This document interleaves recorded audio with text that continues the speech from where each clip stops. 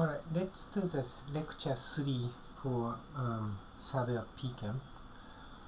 We are going to talk about heat for this lecture. Along the way, I'm, I'm going to talk about the heat capacity and then briefly go back to the first law of thermodynamics. And then I also introduce enthalpy in this lecture.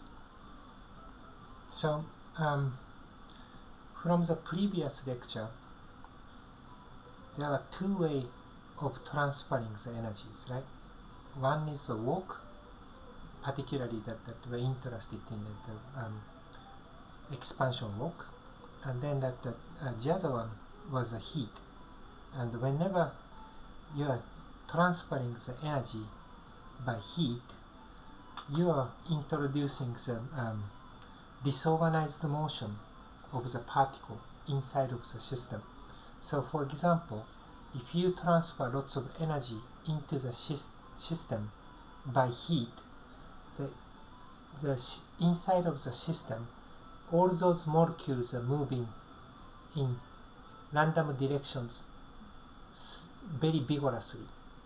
But if you actually put only small amount of heat into the system, then whatever the stuff that's inside is actually moving very slow. Still random directions, but movement is much less. And that's uh, the um, intuition about heat, right? So, related topic uh, was uh, the related property of the heat was the heat capacity.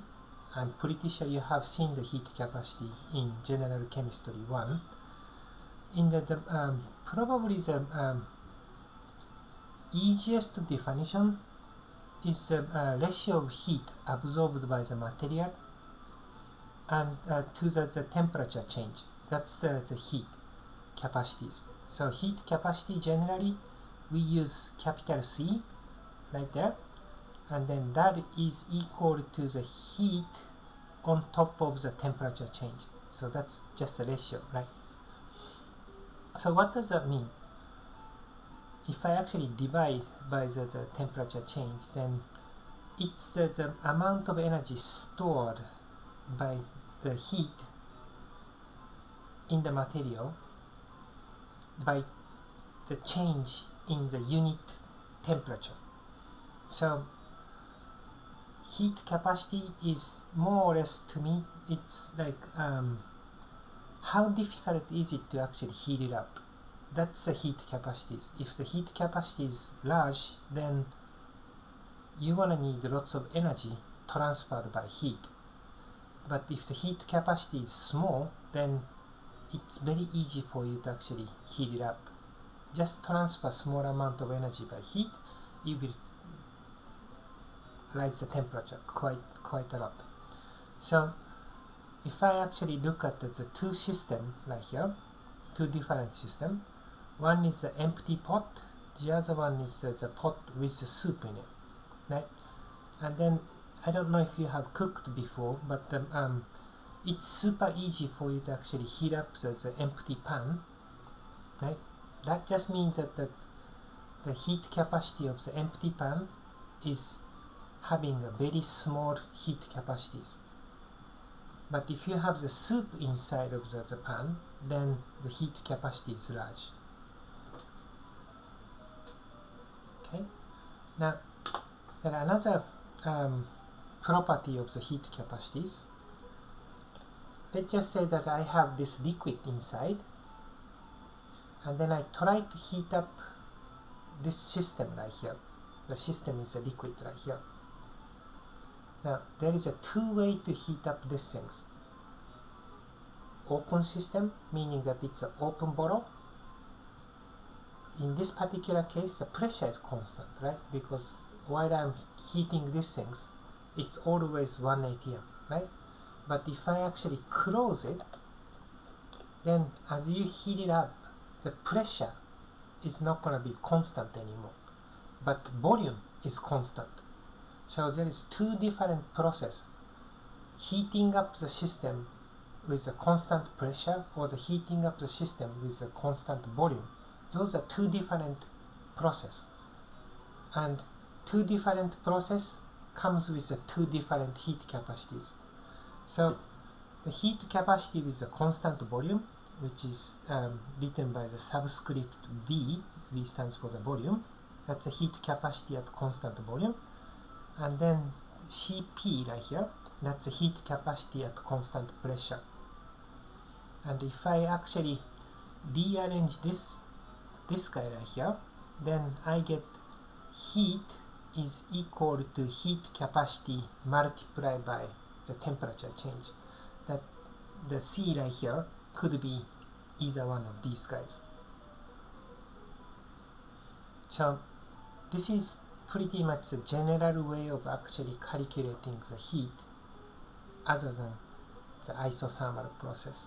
So remember this one because I'm going to come back to this formula right here. Alright so let's just go back to the uh, lecture 1 where um, I don't know if you remember these things but um, I calculated the uh, average velocities by calculating b square f of b dv that right? And then once I calculated the, the uh, b square right average then I can take a square root and then I get this um, average velocities right here right? Then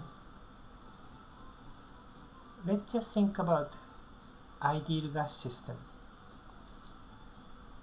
For the ideal gas ideal gas is the one that the, the more each molecule in the gas doesn't interact.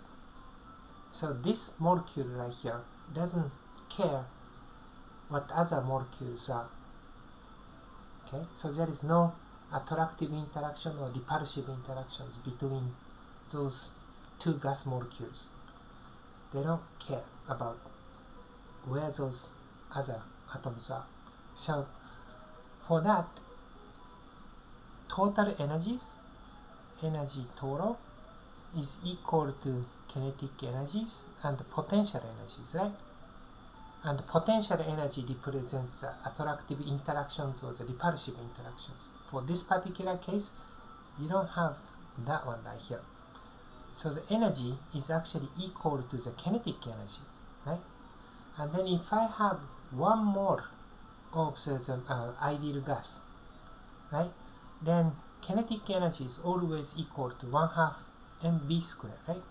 So this is a, a molecular mass not the molar mass molecular mass and each molecule actually have 1 half mv square as the kinetic energies or the total energy of that particular molecule. And then I have a collection of one mole of that right? But 1 half and b square is pretty much the same for each one of those guys. So I can actually multiply this molecular weight by Avogadro number to get the molecular weight or the molar weight the um, molar weight is um, one mole of molecule molecular mass right then I can change this to 1 half capital M b squared. And then I'm gonna plug in this formula that, that we got before into this guy. Taking a square root m is gonna cancel. I get energy is equal to 3 half RT so energy of the system ideal gas is always 3 half RT and that's really an um, um, important um, result because what it says is you can actually calculate the um, energy of the, the ideal gas anytime you want to as long as you can actually find the temperature of the system so for this particular case that uh, let's just say that I have 300 Kelvin in there right then you just plug in the 300 Kelvin and then this one I think you use as a 8.314 joule per Kelvin, I think, per mole. I think it's a per mole. Then you can actually get the um, energy of the, the, the um, ideal gas. Now, another way to actually, um, another way this is important is that this energy right here doesn't depend on the volume or the pressure. It only depends on temperature. So when you write function as a um, um, function of x, or the, the variable f depends only on the variable x, right? Same thing goes with the energies. Energy only depends on temperatures, not volume, not pressure. It only depends on temperature for the ideal gas. Alright, so also we have actually talked about the um, first law of thermodynamics, right? In the um, one lecture before, the delta U is actually equal to work plus Q, right? And then that is equal to minus P external delta V plus, let's just say that that one is a C delta T, right? So that work right here, work is this guy, and then heat is that guy right here.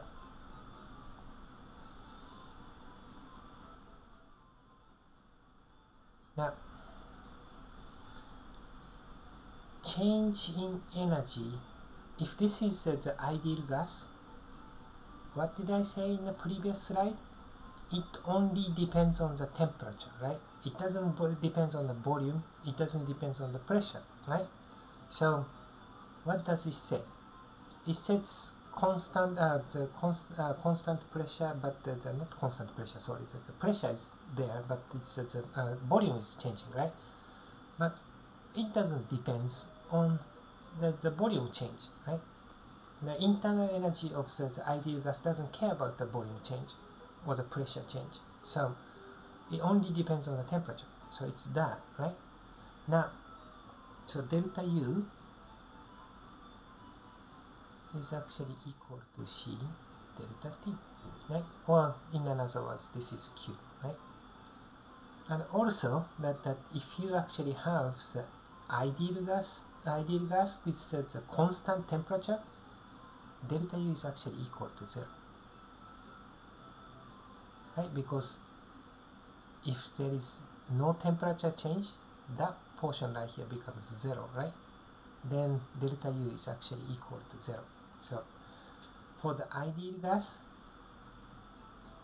if the process doesn't have any temperature change, then the changing energy is actually equal to zero.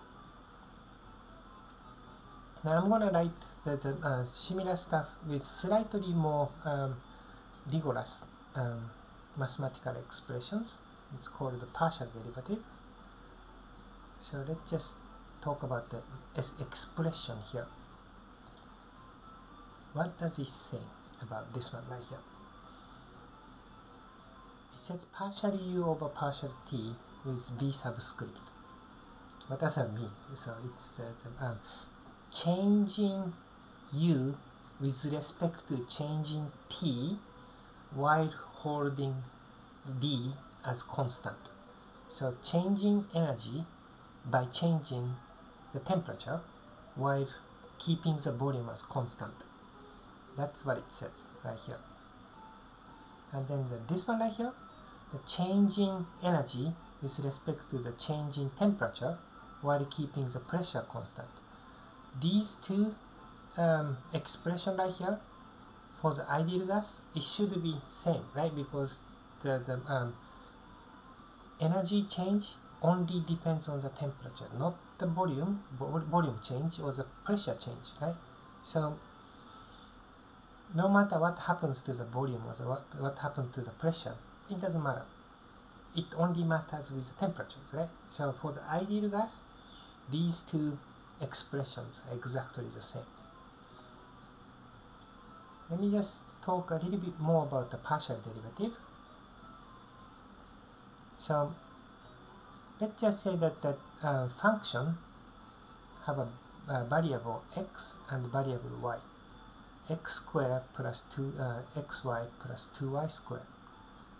Then if I what um, if I ask you to calculate the um, partial f over partial x while keeping the y as a constant, then this means that that takes a derivative with respect to x, keeping the y as a constant. So what it says is that, that that's constant and the whole thing is constant.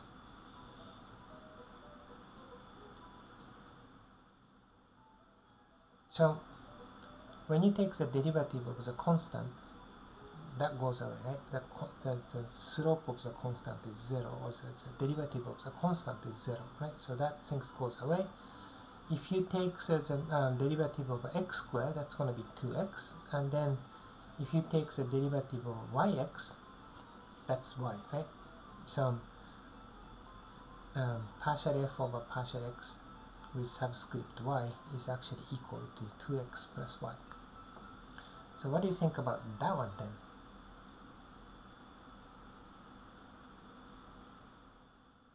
In this particular case, x being constant, so these two are constant, right? So how does it work? That thing goes away when you take the derivative with respect to y, because there is no y in there.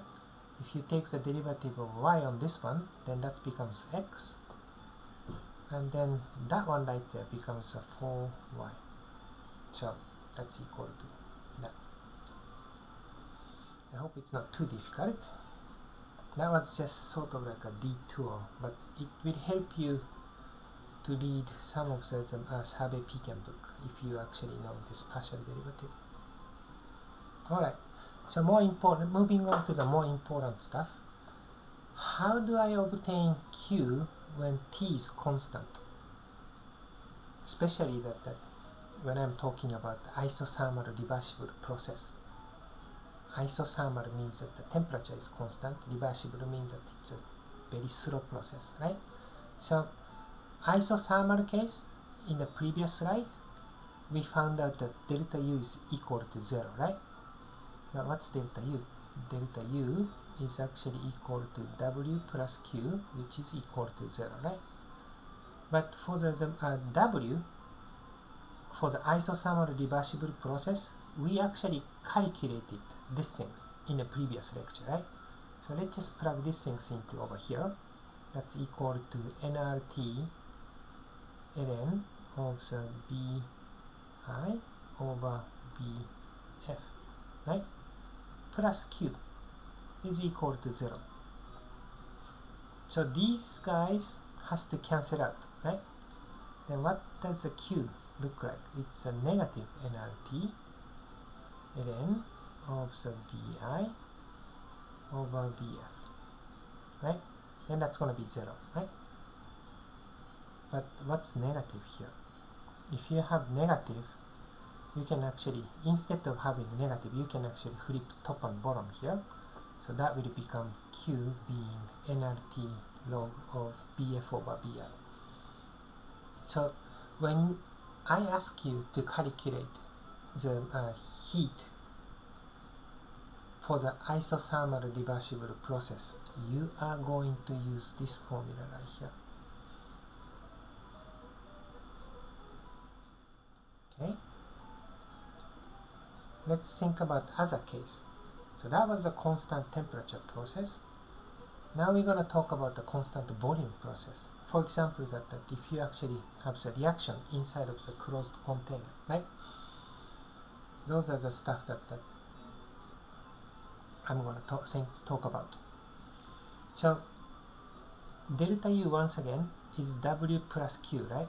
And W was minus P external multiplied by the uh, volume change plus Q, right?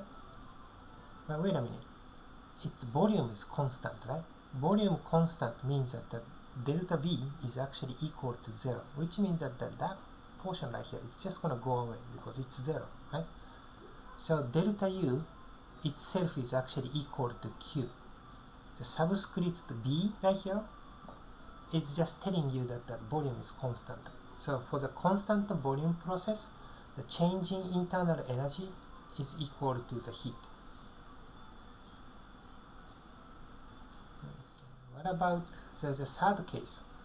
What about the, the um, how do I actually calculate Q for the process that's pressure being constant? Now, this one is important because uh, the, most of the, the biological process is actually under the constant pressure process. Right? Because bacteria, for example, doesn't live in a closed containers, right? It goes all over the place, right?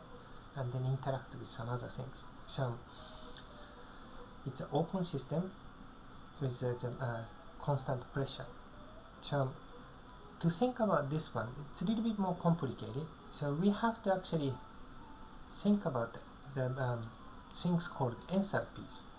Pretty sure you can you actually have heard about enthalpies in the general chemistry.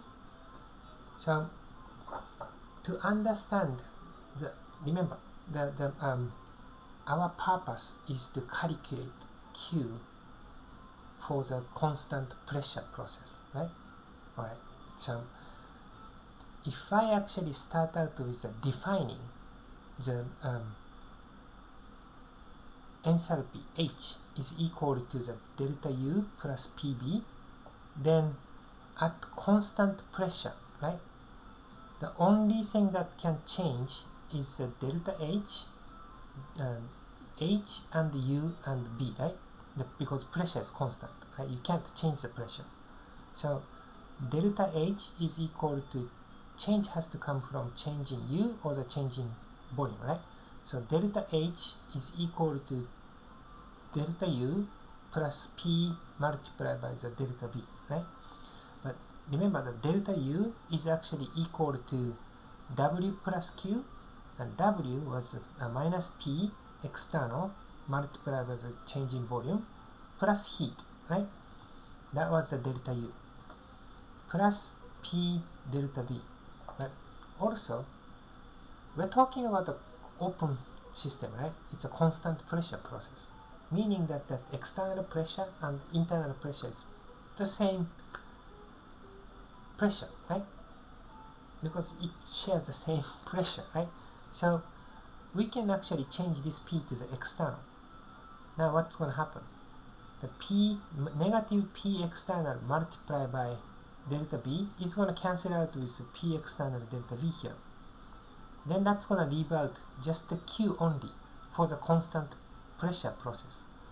So the change in enthalpy is actually equal to the heat at constant pressure. And this was the driving force, you can actually think of it this way, that, that um, of actually using the enthalpies more or less.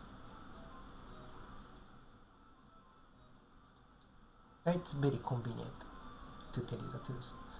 So um, now that, that we actually got all those Q in three different way, right? The um, constant temperature, you're gonna use that one. For the constant volume, you're gonna use that one. And for the constant pressure, you're gonna use this one, right?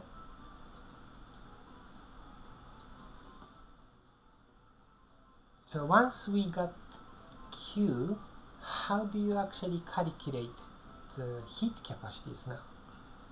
For the heat capacities, from the definition of the heat capacity, right? It's a ratio of heat absorbed by the material to the temperature change, right? You're going to divide by the temperature change. But for the isothermal process, that doesn't make any sense, right? Because you're dividing by zero pretty much, right? So there is no need to actually calculate the um, heat capacities for the constant temperature. But for the constant volume, you get this one from that. delta u is actually equal to qv is equal to cv delta t. So cv right here is actually equal to delta u over delta t. That was that. For the constant pressure, you're gonna use this formula. Again, that, that I'm gonna say that, that delta H is equal to Cp delta T. So the Cp is actually equal to delta H over delta T, right? And that's that one right here. So let's just rewrite these things in the, the more rigorous expressions. So instead of um, using this the big change, I'm gonna use the infinitesimal change. So the changing internal energies with respect to the change in temperature, keeping the volume while keeping the volume constant. That's that one. So the um, for the constant volume process, the heat capacity, the constant volume heat capacity is actually equal to that term right there. For the constant pressure, the heat capacity becomes that one right there.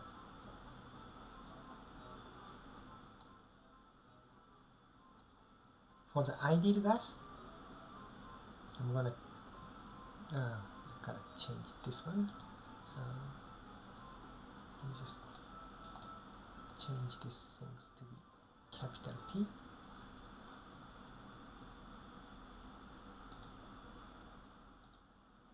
So H was defined as U plus PV, right? And then that, for the ideal gas, PV equal nRT, so you can actually change that PV with the nRT. And then the, let's just think about the CP here. CP is uh, the changing, it's a, the um, taking the derivative of H with respect to T with keeping the pressures constant. And that's equal to the, um, the derivative of U with respect to changing temperature, keeping the pressure constant. Right? Because everything is keeping the pressure constant right here. This process is constant pressure, that process is constant pressure, everything has to be constant pressure and then that you're taking the derivative with respect to t, right? So that one right there, nr is constant. If you take the derivative with respect to t, then the t is gonna go away, just just one, right? So it becomes this guy right here.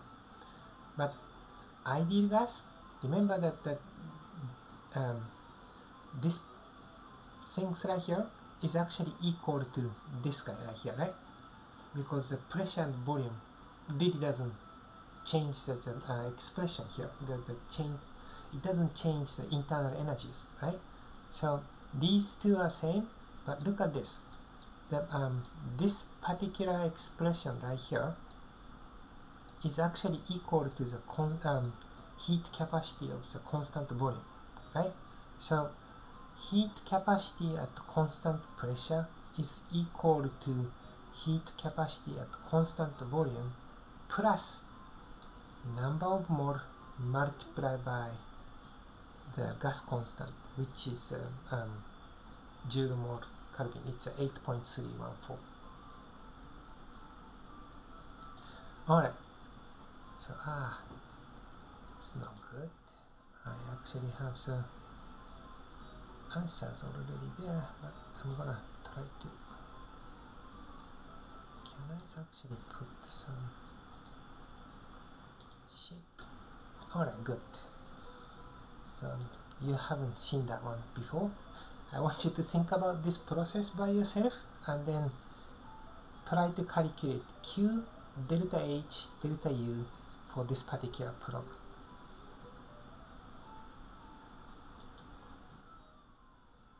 Good enough for lecture number 3.